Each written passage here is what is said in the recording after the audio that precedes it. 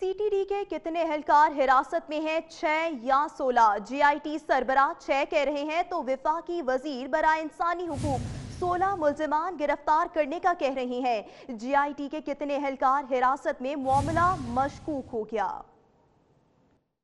जो एफआईआर कटी है सीटीडी ऑफिशियल्स के खिलाफ, उनको चार्ज किया गया है under section 302 of the anti terror act जिसमें 16 लोग हैं 10 officials were in uniform and 6 were in normal simple clothes CTD के जो है जो उसमें तकरीबन छः लोग थे वो कस्टडी में है लेकिन उसको अभी आप गिरफ़्तार समझें या क्या समझें लेकिन ये कि कस्टडी में है। मुकाबले में मुलवस सीटीडी के पाँच अफसरान को मुकदमे में चलान करके इंसदाद दहशत गर्दी की अदालत में पेश करने का हुक्म दिया गया है।